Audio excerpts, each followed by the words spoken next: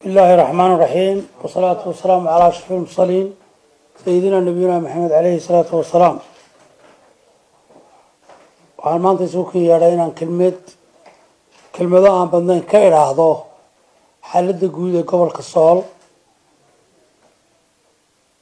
marka ugu horeysa waxaan tahay si guud u dirayaa dhammaan dadkii ku naf waayey dhibaatooyinkii ka dhacay gobolka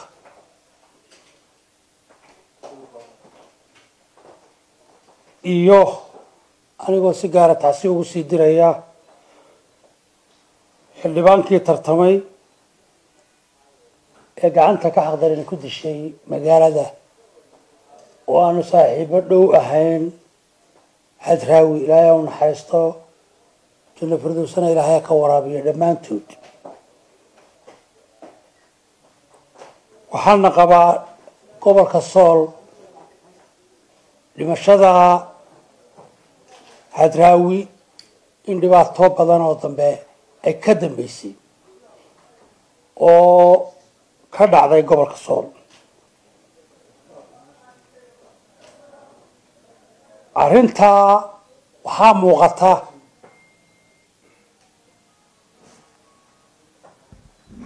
in ay gacmo shisheeye oo aan shacabka somalilandna ahayn ee gobolka sool xukuumaddana ahayn inay ku jiraan. Oo ah falal argagixiso oo dadka lagu jaahwareerinayo ay ugu badan tahay dadka la dilay waxaad xogogaal u tihiin dhammaantood inay ummadda reer somaliland u shaqaynayay oo ay dad magacaaban oo siyaasiyiina iyo dad shaqaalaha isugu jireen. Mararka qaarkood dadka waxaa loo sheegaa warar khaldan oo runtii aan ku habboonayn in qof bini aadan oo caqli le loo sheego. Oo ah ninkii somaliland u shaqaynayey ee u tartamayey ee siyaasiga u ahaa ee shaqaalaha u ahaa oo la beegsanayo haddana in mararka qaarkood dacaayado somalilandna dib loogu soo celiyo. Waxaan qabaa oo aanu ku kalsoonahay kuwa hadraawi dilay iyo kuwa dhibta laasxaanood gudahooda ka wadaa inay si dhow u wada shaqaynayaan.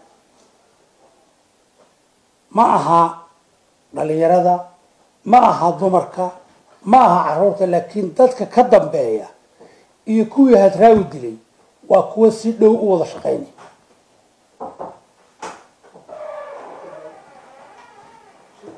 taa waxaan leeyahay aynu wada ogaano aynu wada ogaano falka argagixisnimada ee ka jirana waa mid dad aan u naxayn reer somaliland iyo gobolka soolba ay wadaan. Siiba gobolka sool.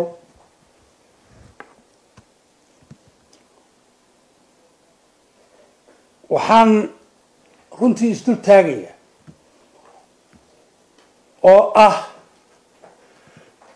inaanu haddaanu xukuumadda jamhuuriyadda somaliland nahay in aanu mas'uuliyadi naga saaran tahay amniga gobolka sool iyo degmada laascaanood waxaanu mas'uuliyadda wixii nagaga soo leexdaa waanu qaadanaynaa diyaarra waanuuna shacabka reer laascaanoodna waa in aanu ka wada hadalno oo aanu isaga garawno sida nabadgelyada gobolka iyo degmada loo xasilin laha maadaama aanu dalka dawlad ka nahay xukuumaddeedii nahay mas'uuliyadda guud ee dalkuna saaran tahay. Mas'uuliyadda nabadgelyada annagaa leh. Wixii nagaga soo leexda ee mas'uuliyaddaad mas'uuliyadayada saameeyana diyaar baanu u nahay goobteeda iyo meesheeda in lagaga wada hadlo. Waxaan ummadda reer sool gaar ahaan degmada laascaanood ka codsanayaano af xukuumadda ku hadlaya in aynu dhammaanteen isdejino oo aynu wakti siino in la wada hadlo oo nabadda laga shaqeeyo dhibaatadu marba marka marka ay taagan tahay bay ugu yartaa dhibaatadu hadba meesha ay taagan tahay ayay ugu yartaa waxaan u soo jeedinayaa dhammaan gabdhaha dhalinyarada hooyooyinka odayaasha waxgaradka in nabadda wakti la siiyo oo dadku hadduu wax ku kala duwan yahay dee waa inuu wada hadlaa. Ka xukuumad ahaan diyaar baanu nahay inaanu dadka reer laascaanood wada hadalno oo aanu goob isugu nimaadno wixii nabadgelyada ka khaldanna laga wada hadlo waxaan aada iyo aada ugu runtii aan mar labaad uga codsanayaa in dadku aanay sharciga faraha ku qaadan oo aanay bangiyada gelin oo aanay shirkadaha dhicin oo aanay bakhaarada jabsan oo aanay dadka ganacsatada hantidooda xalaashan. Mararka qaarkood qofka bini aadamkii wuu samayn karaa shucuur uu ku muujinayo inuu wax diidan yahay taa macnaheedu maaha inuu qofku wax kastaa u furan yahay inuu qof dilo inuu hanti dhaco inuu wuxuu doono hantidii ummaddu ka dhexaysay burburiyo. Dee waa sharcigiiba qofku gacanta ku qaato laakiin qofku inuu shucuur diidma a muujiyo oo si nabadgelyo ah waa loo ogolyahay mararka qaarkoodna sharciga dastuurka iyo jamhuuriyadda somalilan wuu fasaxaya. Laba ma habeen ciidanka waanu ka saara wixii dhacay dee waad ogeydeen ilaa bangiyo ilaa shirkado ilaa iyo hilibkii oo bisil baa maqaaxyaha laga qaatay. Markii meel kale la gaari waayo. Taana waxaan leeyahay shicibkana danu maaha annagana danu maaha ka maamul ahaan. Dhammaan dadka dibadda ka soo hadlaya iyo haree dadka kala duwan derajo kasta iyo qof kasta uu yahay laascaanood qofka rabaa waa qof nabad kaga shaqeynaya qofka rabaa waa qof ummaddan in ay noolaato oo horumar gaadho oo ay hore halka ay joogto uga socoto ka talinaya wey qofka maanta nab ugu baaqayaa dagaal waa qof raba inay shan iyo toban sano ama labaatan sano oo dambe dib u socoto magaalada lascaanood derajo kastoo uu leeyahay iyo qof kastoo uu yahay qofka maanta laascaanood dagaalka ugu baaqaya waa qof aan caqligiisu gaadhsiisnayn meeshii la rabi xukuumaddu nabad bay haysaa walaalnimay haysaa ehelnimay haysaa. Ummaddu reer somalilan inay wada noolaatay rabtaa annagaa xukuumadda ka wakiila. Diyaar baanu u nahay wixii iyo qaabkii loogu wada hadli lahaa gobolkan oo nabadi uga suuroobi lahayd oo labada dhinac ka wada hadla. Waa ku celinayaa dhowr jeer baan ku celin. Waxalla waxaa mas'uuliyadda qaybtayadana iyo wixii mas'uuliyad naga saarana inaanu ka hadalno oo goobta ay markay habboonaato aanu ka hadalno diyaar baanu una dadkana inaanu dhegaysano diyaar baanu. Waa laga yaabaa qofku inuu wax istusi karo inuu odhan karo mararka qaarkood sax baa tahay mararka qaarkood uu action qaado mararka qaarkood cadhadu ka badato waa qiraynaa laakiin waxaan leeyahay dadka istajiya. Dhib badani ma taalo dhib badani dhibtu inta way ka badanaysaa marba marka ka dambaysa haddaynan caqliga ka shaqaysin.